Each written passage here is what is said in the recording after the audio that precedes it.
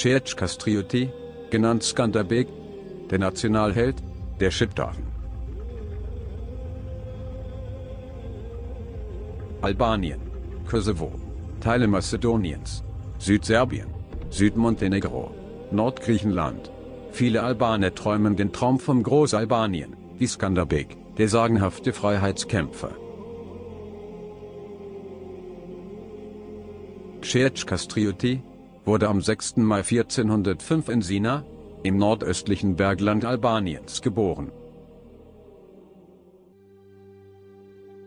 Er wuchs in der Festung Kruja, in Mittelalbanien auf, als der jüngste von fünf Kindern. Mit 18 Jahren musste sein Vater, Cerc und zwei weitere Söhne zum Sultan nach Konstantinopel schicken, als Tribut und Schutzgarantie für das Osmanische Reich. Während er sich drei Jahre lang im Sultanspalast aufhielt, konvertierte er zum Islam. Am osmanischen Hof nahm er seinen Beinamen Skanderbeg an, was auf Deutsch Fürst Alexander bedeutet. 1438 kehrte er mit 35 Jahren zurück in sein Heimatland Albanien um dort auf Befehl des Sultans Murad II. eine Verwaltungsstelle anzutreten. 1443, als Ungarn über die Osmanen siegten, sah er seine Chance als gekommen und verließ mit seinen albanischen Soldaten die osmanische Armee. Er bemächtigte sich der Festung von Kruja und am 28. November 1443 konvertierte er zurück zum Christentum. Am 2. März 1444 gründete er, mit anderen albanischen und montenegrinischen Fürsten die Liga von Lecce, eine Verteidigungsallianz gegen das Osmanische Reich. In den nächsten 18 Jahren führte er erfolgreich Krieg gegen die auf dem Balkan vorrückenden Osmanen. Zu den bedeutendsten Schlachten zählte die erste Belagerung Krujas im Jahr 1450. Damals versuchte ein 100 bis 160.000 starkes osmanisches Heer die Festung Kruja zu erobern, die von 8.000 Albanern vehement verteidigt wurde.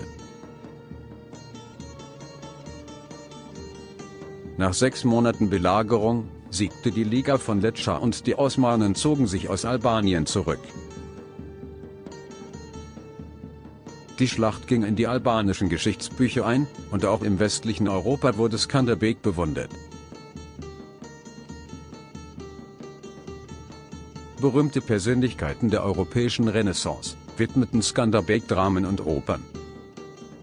So auch Voltaire, Antonio Vivaldi, Sir William Temple, Ludwig Holberg und viele mehr.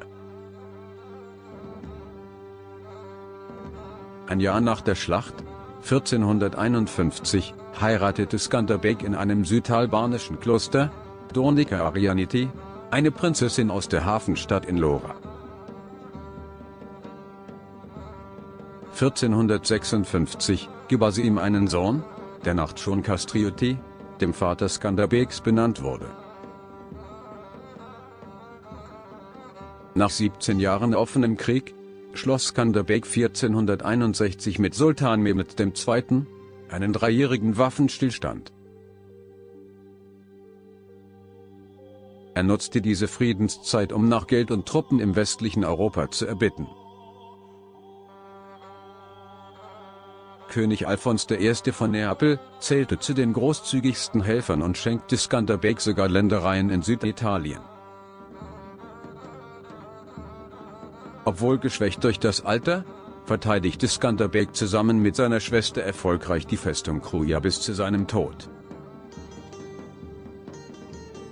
Am 17. Januar 1468 starb Skanderbeg eines natürlichen Todes und wurde in einer kleinen Kirche im nordalbanischen Lecce begraben.